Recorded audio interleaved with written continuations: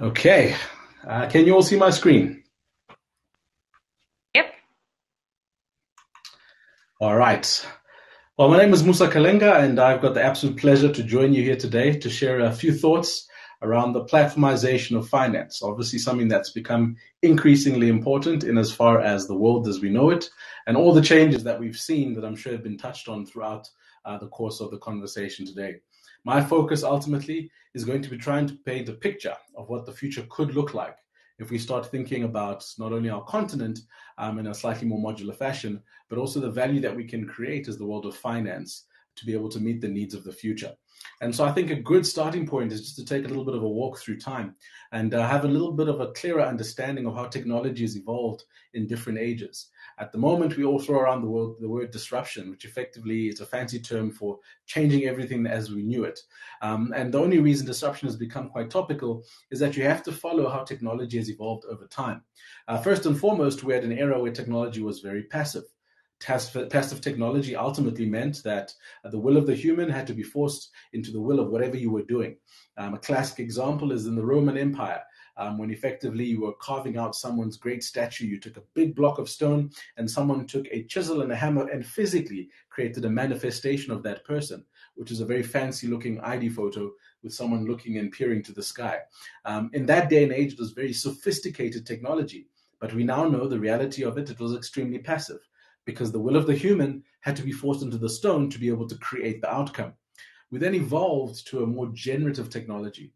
And generative technology, the best way to explain it is effectively um, when the human being and the technology meet halfway, so to speak.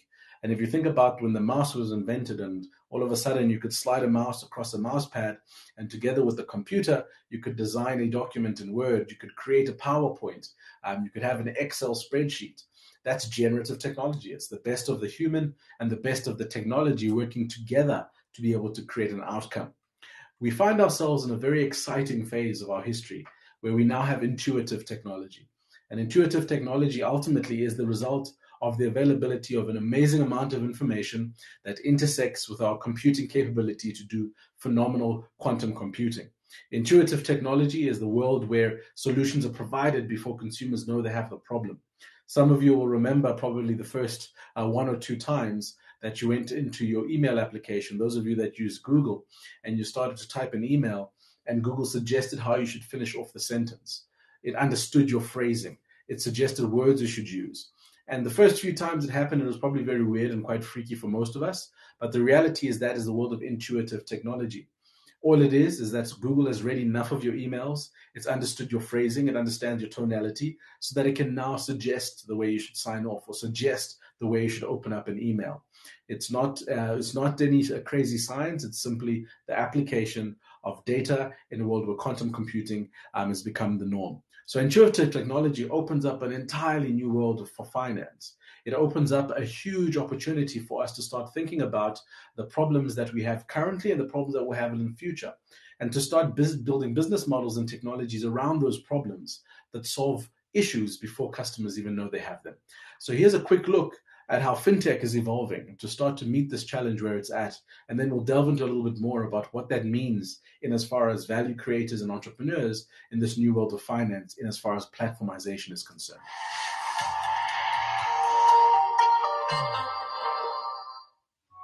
Big techs and challenger banks are attracting consumers through hyper personalized experiences and innovative products. That's why banks must embrace an open X approach, where X stands for experience, and quickly transform into inventive banks, according to the World FinTech Report 2020 by Capgemini and EFMA. Big techs and challenger banks offer unique strengths and capabilities. Their cloud native design, open and evolutionary platform infrastructure, and data driven mindset empowers their last mile delivery. So it's not surprising that their overall user experience is tempting customers, particularly when 48% of Gen Y and tech savvy customers say they're frustrated by poor service from their primary banks. To remain competitive, incumbent banks must become agile, customer centric, and inventive. How? By strengthening their middle and back end operations through collaboration by design with fintechs. Up until now, most incumbent banks ignored the middle and back end, and focused instead on the customer facing last mile experience. But only by modernizing the middle and back end operations will banks succeed in the OpenX ecosystem, which is an open platform where players across industries collaborate to enhance customer experience. This will help banks to retain or even grow their market share. Success in the OpenX ecosystem will best be demonstrated by inventive banks and mature fintechs using a structured approach for effective collaboration focused on people, finance, business, and technology. It's time to move from open innovation that only delivers proof of concept into applied innovation that enables scalable products ready for mass distribution. Big techs and challenger banks may be winning over customers, but for inventive banks, the game is still on. By effectively collaborating with mature fintechs across the whole value chain, from development to the last mile, they will deliver, delight, and win customers' hearts, minds, and wallets. And it's a very important reflection for us to think about this notion around OpenX because the world that we live in ultimately is a connected world. It's a world where um, you don't need to be the best at everything. You simply have to have an obsession and a fixation with a particular problem. And in so doing, you can actually integrate a lot of the solutions around that. And so for us to consider the impact that has for Africa as a continent, I thought we'd play a quick game because as financial services shifts into this OpenX environment and we think about platformization as potentially the way of the future, it's really important for us to consider some of the core tenets of platformized businesses and what they've done really well. So may I suggest that we play a quick game, right? Uh, I'm going to show you a company, um, I'm going to show you a scenario, and you're going to tell me what company that is. And through that, we'll be able to see a pattern and be able to understand how platform businesses have delivered on value on both sides of the demand curves. So was to say to you in the home movie market where studios are matched to audiences through technology, what immediately comes to mind? Of course, Netflix. And Netflix has been able to find a way to be able to link studios and audiences by buying movie rights and distributing them as bundles via subscriptions to audiences that are interested in buying um, a unlimited array of, te- of, uh, of entertainment options. Here's the next one. Um, what's the market for car rides that links passengers and drivers? Well, that's an easy one. Uber. And Uber's been able to do that by being able to reduce the fleet downtime and being able to link the drivers to passengers and do that through an app and be able to create value on both sides of the demand and the supply curve. If I was to say to you, what creates a market for touristic housing using a platform exercise? Well, also fairly obvious. Airbnb. Airbnb has got hosts, it's got tourists, and it creates an environment where tourists are able to book um, their related experience through a site, and hosts can fill um, their vacant capacity. And through that, they reduce risk. They provide a way where people can manage a quality experience and ensure a particular standard of delivery. And the interesting thing is when you look at all of these, they're platform businesses. And platform businesses at their core link asset holders to clients. And on both sides, you have what they call frictions. You have problems. On the asset holder side, you may have things like outreach challenges, um, high asset downtime, uh, like we have with Uber. You may have gatekeepers that are unnecessary. And you have, may have all these challenges that asset holders will have. And they typically drive supply. And on the demand side, you have clients or customers, and they may have challenges of access, they may have um, challenges of quality of service, they may have trust issues, whole bunch of different problems. But on both supply and demand side, there are very clear frictions. And what we need to think about in the financial services sector is what are the asset holders and what are the client bases that we try and serve and identify those frictions. Because through those frictions, you can start to serve both sides of the market. And when you serve both sides of the market, you give value to asset holders and clients. And that's how you build a multi sided platform. And so, as organizations like um, Uber and organizations like um, Airbnb have understood and started to perfect, they've started to be able to create huge amounts of value by being able to solve for these frictions in quite a simple way. The interesting thing is when you look at all of these companies in their early stages, the greatest challenge that they face is effectively being able to create um, the balancing act between the interests of the different sides, both demand and supply. Very similarly, in financial services, we've got a challenge that we have to get the balance right between, as an example, the unbanked and financial services providers. And that balancing act, that dance, is really where the value is. And if you get that right, it's what they call the point of ignition. And as you grow the business and as you develop the value, that's where you get the cross network externality, which effectively means that the more users you increase on one side, it creates more value for the other side. And so, if you think about the world that we're going into, which is all about shared value um, and about being able to create more transparency and honesty, for financial services, this is actually a really core challenge. But if we solve those frictions, we can create a phenomenal amount of value. If we also just quickly reflect on our context in Africa, because platformization doesn't kind of operate as a um, ethereal concept. We have to consider where we are. And in Africa, one of the key challenges, if we look at the Human Development Index, is number one, we've been registering the lowest since 1990. And while there's an incremental uh, improvement in the human development condition in Africa, we're still not getting to the levels where we can compete with the rest of the world. So the black line that you see at the bottom represents the human development condition in Africa, and the ones at the top represent Asia, Latin America, Europe, as well as the Arab states. So it's quite clear that we've got some catching up to do as a continent. And if you look at the progress in terms of getting better, I think it's an incremental um, change that we're starting to see. The second graph, which you need to look at and consider, is interesting because this looks like that platformization graph. It's the J curve. It's the acceleration of technology. It's when we went from the printing press in the 1400s to 3D printing, where we are now. And this acceleration, this J curve, is really where you get the value, an exponential value over time.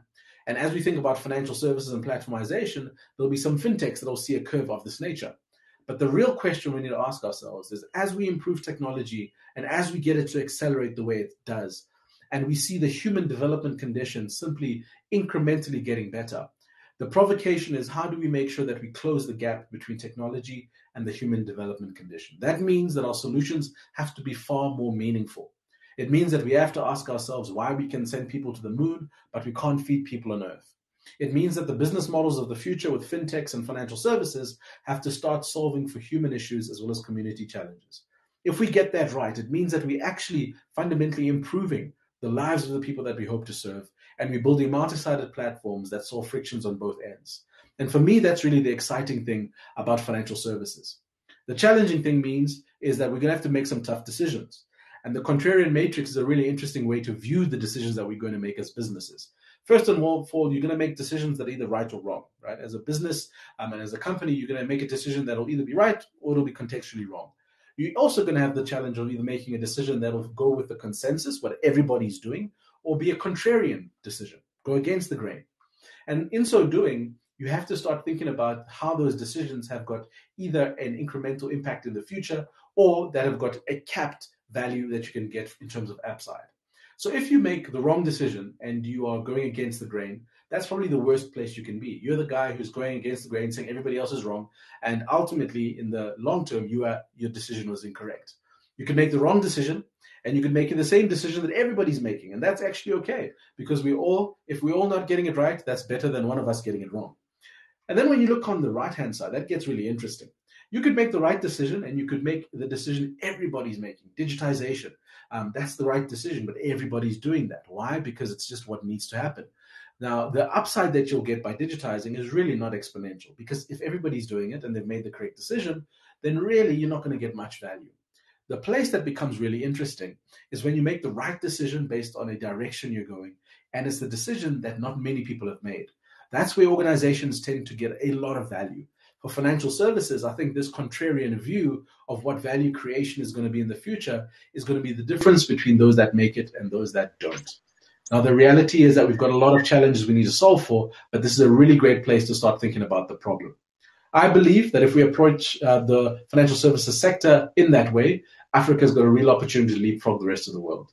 I think it's an exciting point of view, and I really believe that it's a challenge for us, especially when we're thinking about the future and how we'll be able to develop value to claw back from the huge, huge amount of damage that COVID 19 has done to our economies. Um, but with that, I wish you the best, and I hope that you've taken some value in being able to understand how platformization uh, can change our continent. Thank you. Thank you so much, uh, Musa, for that uh, brilliant presentation. And it's actually quite interesting to think about some of the stuff that you've brought up. And what I love about this uh, particular summit that we started off on a high note, and we're also ending off on a high note as well. So thank you so much for sharing those particular insights with us. And for those of you who have been engaging, I did notice that you got a few thumbs up moving on the screen as you were doing a presentation.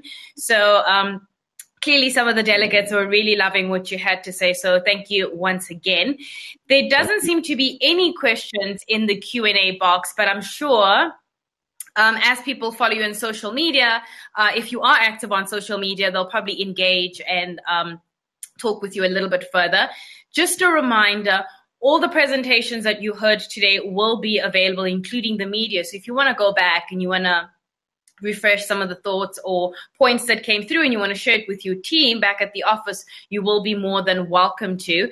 Thank you so much for joining us. I mean, we had a lot to discuss. Like we were started off looking at, uh, you know, fi- disruption in financial services as uh, the emergence of a super platform came through. We had the guys from Nedbank talking to us about their experience with uh, Avo.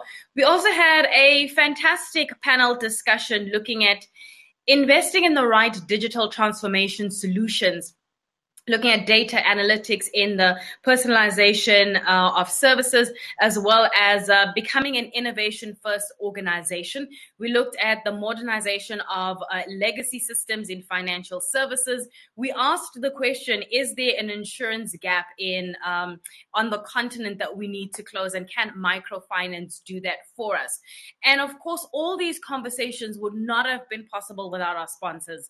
Um, Mambu, uh, BCX, Kasisto, Ozone, Caseware Africa, and Nuvo. Thank you so much for uh, participating with us and uh, helping us to have these kinds of conversations. And we do hope that you will be back with us as we, again, take strategies beyond COVID and we look to the future and try and figure out um, what the future holds uh, for us. And hopefully, we'll also have some um, uh, viable products and we'll have some case studies in terms of some of the stuff that we have discussed today. Thank you so much for joining me and for joining many of our panelists and discussion uh, discussants rather. Until next time, and I hope to see you soon. Have a fantastic day, and it's a goodbye for me.